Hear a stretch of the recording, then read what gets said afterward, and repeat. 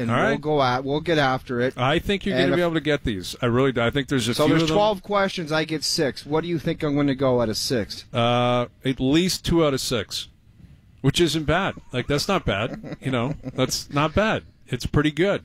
And All right. I